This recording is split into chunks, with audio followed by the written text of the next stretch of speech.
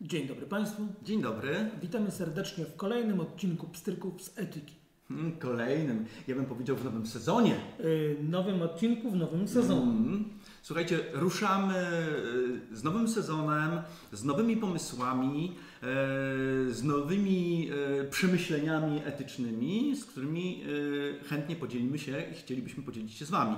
Część pomysłów, działań, które podjęliśmy, widzieliście już na filmach i one są możliwe dzięki pomocy yy, naszej ekipy, bo nie tylko Tak. my dwaj yy, pracujemy nad naszymi filmami i tutaj właśnie z tego miejsca chcielibyśmy serdecznie podziękować naszym współpracownikom. którzy tu trzeba dodać e, cały czas wymyślają, cały czas mają nową wizję e, nagrywania odcinków, nie pozwalają nam przede wszystkim siedzieć e, w jednym miejscu, wyprowadzają nas w różne miejsca, jak widzieliście ostatnio. Śledzą nas z drona, każą nam pracować w parku i w różnych, w różnych, w różnych miejscach. Oczywiście zdajemy sobie sprawę, że na celu mamy wszyscy podniesienie atrakcyjności naszego kanału. Pozdrawiamy Bartka i Cypriana. Bardzo Wam dziękujemy. Dziś chcielibyśmy porozmawiać o pomaganiu, Mhm. czy też może o niepomaganiu. O O pomaganiu. pomaganiu. O pomaganiu. Często jest tak, że po prostu nie pomagamy, choć moglibyśmy. A nawet powinniśmy. A nawet Bo powinniśmy. kiedy rozmawiamy sobie o udzielaniu pomocy, czy udzielaniu pierwszej Mhm. pomocy, to oczywiście nieudzielenie pomocy jest w naszym kraju zagrożone karą. Tak, tu trzeba dodać, że są różne rodzaje pomocy. No właśnie, jeżeli Mhm. ktoś potrzebuje pomocy, pierwszej pomocy, powiedzmy medycznej, to nie znaczy, że muszę natychmiast przystąpić do e, masażu serca, Mhm. y, bo muszę zrobić to, co jestem w stanie, potrafię, żeby komuś pomóc. Jeżeli potrafię udzielić pierwszej pomocy, oczywiście to robię, ale jeżeli nie potrafię, to też mogę pomóc. Na przykład Tak. dzwoniąc na 112. Tak. To jest udzielenie pomocy. Udzieliłem pomocy, ponieważ zawiadomiłem służby, Słusznie. że jest człowiek, który pomocy potrzebuje. I oczywiście mamy, miejmy świadomość, że nieudzielenie pomocy, właśnie nawet wykonanie tego telefonu jest w Polsce karalne. Zatem y, nasza dyskusja o tym, dlaczego niektórzy nie pomagają osobom, które potrzebują pomocy, jest jak najbardziej chyba uzasadniona. Tak, to jest bardzo interesujące, dlaczego ludzie nie udzielają komuś pomocy. I wydawałoby się, że po prostu jest jakaś jedna odpowiedź. Ale kiedy się nad tym zastanawiamy, to wychodzi, że tych przyczyn No, Może być kilka. może być kilka. Po pierwsze, jeżeli widzę kogoś, kto leży na trawniku, Mhm. to po pierwsze nie wiem, czy on jest y, osobą chorą, Tak. E, potrzebującą pomocy, czy może odpoczywa. Tak. Jest zmęczony, więc odpoczywa.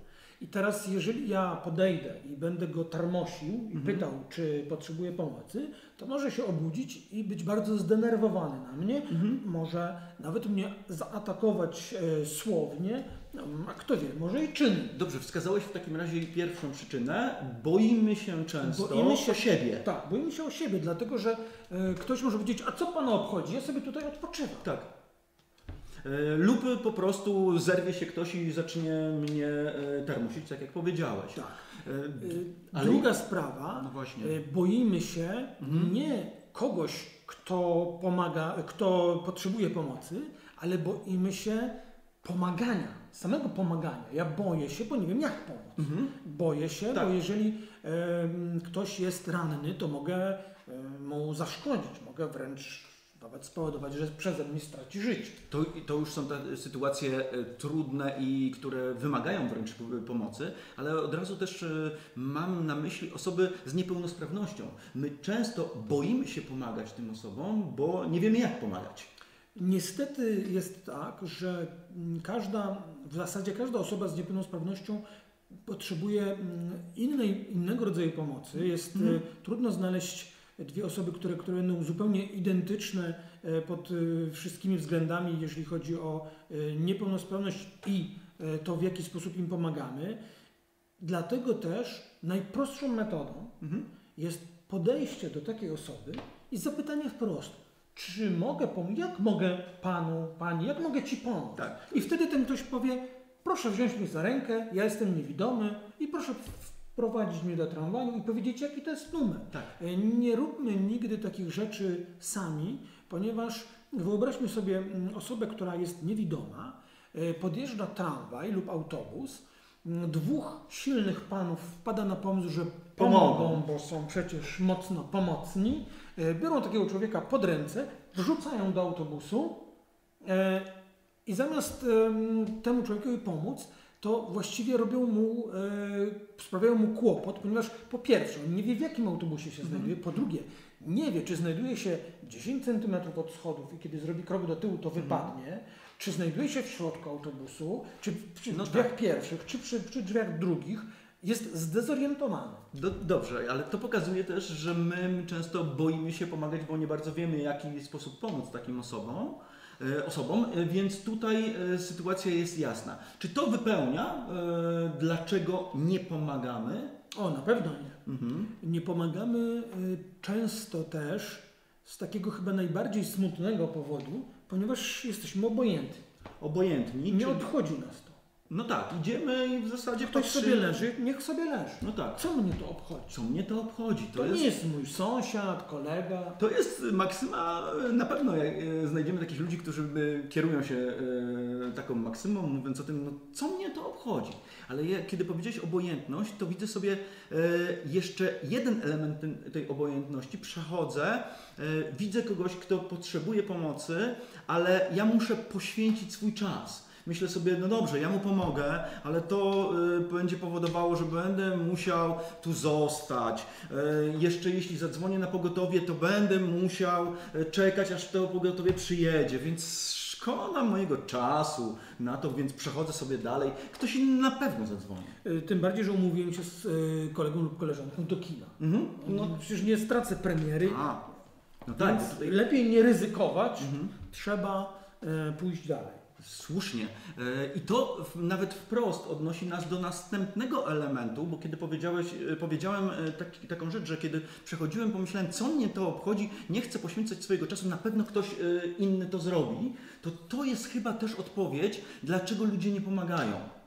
Tak, i, to jest też, no, można powiedzieć, paradoksalne, bo wokół kogoś, kto potrzebuje pomocy, czy wokół zdarzenia, które wymaga jakiejś interwencji naszej, y, kiedy byłoby to na jakimś całkowitym pustkowiu, Mhm. to zdaję sobie sprawę, że tylko ja mogę pomóc. I to też pokazuje... I najczęściej pomagamy Tak, wtedy. i tam nie ma problemu Mhm. z pomocą. I to jest ciekawe, że, że w miejscach zupełnie odludnych, takich, y, gdzie w zasadzie nie powinniśmy się y, spodziewać pomocy, Aha. to wszyscy ludzie, którzy widzą e, kogoś, kto potrzebuje pomocy, od razu mu pomagają. Bo Mhm. zdają sobie sprawę, że jeżeli oni mu nie pomogą, to może już nikt mu nie pomoże, więc jakby to jest bezwarunkowe. Chyba, że zadziała czynnik pierwszy, czyli strach i uciekniemy, ale e, Wydaje- powiedzmy, że ta sytuacja Może dotyczyć jedyności... też, dokładnie, Mhm. może dotyczyć mnie w, pewnym, w pewnej sytuacji, w pewnym momencie i też nie chciałbym, żeby ktoś uciekł. Czekaj, chcesz w takim razie powiedzieć, że na rynku trudniej po, e, dużego miasta pomagać niż, e,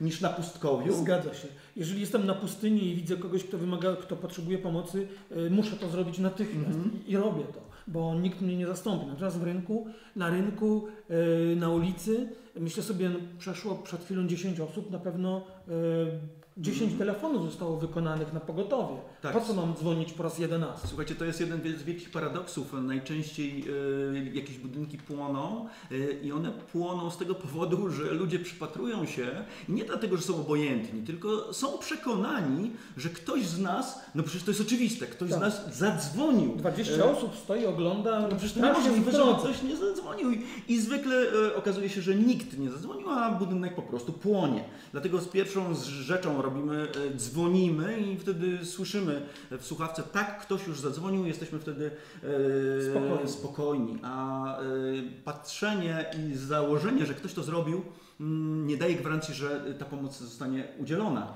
Tak, oczywiście my tutaj, my tutaj rozmawiamy sobie o jakichś takich bardzo poważnych sytuacjach, Mhm. zagrażających życiu, zagrażających zdrowiu, Ale pomaganie innym wcale nie, nie pojawia się, czy potrzeba pomagania innym nie pojawia się w sytuacji zagrożenia życia. Mhm. Ona może się pojawić w zwykłym takim codziennym życiu, w pracy, w szkole. Mówimy o takiej pomocy reagowania, prawda? Tak, y, reagowania na pewne sytuacje, w których y, podejrzewamy, możemy się domyślać, że ktoś mógłby potrzebować pomocy niekoniecznie medycznej, ale Mhm. jakiejś takiej najprostszej chwili rozmowy, No tak. zwrócenia e, swojej uwagi, Tak. mm, zapytania, co się dzieje. I teraz i tu jest taki kolejny jak gdyby aspekt, że nie pomagamy w takich sytuacjach, ponieważ jesteśmy dobrze wychowani. To znaczy Mhm. Nie wtrącamy się, Tak. bo to nie jest nasza sprawa. Tak. Może ten ktoś poczułby się urażony, a może nie chciałby. A okazałoby się, że taka jedna rozmowa może komuś uratować życie, może pomóc b- bardzo, e, bardzo mocno. My tego nie robimy, bo się nie wtrącamy. Tak, to nie jest nasz problem. I teraz y, ten taki, myślę sobie, aspekt pomocy. Z jednej strony pomagamy i ludzie, którzy pomagają, robią to e, po prostu e, instynktownie. Robią to, i, Bo trzeba. Bo trzeba i często kiedy e, słyszymy wypowiedzi w telewizji jakichś takich bohaterów, którzy wskakują, ratują, doskakują do wody, ratują dzieci lub kogokolwiek z wody, to on później mówi, "Mm, to było instynktowne. Tak, nie zastanawiałem się nad tym, tak, tak I teraz- się stało. I tutaj jest wszystko jasne, E, ale często jest tak, że w naszej głowie, kiedy przychodzi ten moment pomocy, pojawia się ten, e, ten e, jeden z tych elementów. Taka kalkulacja. Albo jeden z tych elementów, boję się, albo nie chce mi się, szkoda czasu, lub jakiś nie wtrącam się i to jest bardzo dobry moment. To jest moment, na którym moment, w którym możemy się na chwilkę zatrzymać i zdecydować. Bo właśnie w tej etyce ten element decyzji, Decyzji, tak. przemyślenia jest gwarantem tego, że zrobimy to e, i pójdziemy drogą taką, która przyniesie odpo- odpowiednie rozwiązania i korzyści. Tak, y, oczywiście y, patrząc na to z punktu widzenia etycznego, kiedy idę do kina albo na koncert ulubionego wykonawcy, gdzie bilet kosztował dużo pieniędzy i, i czekałem na niego pół roku. mm, I kiedy widzę kogoś, kto, wymaga, kto potrzebuje pomocy, y, muszę sobie zadać proste pytanie, kiedy y, coś we mnie mówi, nie masz czasu. Mhm. Co jest ważniejsze? Koncert, moja zabawa, czy życie drugiego człowieka? Tak. No tutaj oczywiście, kiedy zastanowimy się nad tym chwilę, no to odpowiedź jest jasna i oczywista, tak? Niczego nie możemy przyrównać do wartości życia człowieka. Słuchajcie, my pokazaliśmy kilka aspektów e, tego niepomagania. Jeśli wy widzicie jakieś elementy, których myśmy tutaj nie pokazali, a wy widzicie, że one są ważne, napiszcie do nas, pokażcie nam to w, komentarzach. E, Myślę, że to będzie dodatek do, e, do naszego filmu. Tak. Bardzo dobre i uzupełnienie. Dziękuję mi bardzo. Do zobaczenia, do usłyszenia wkrótce. Dziękujemy.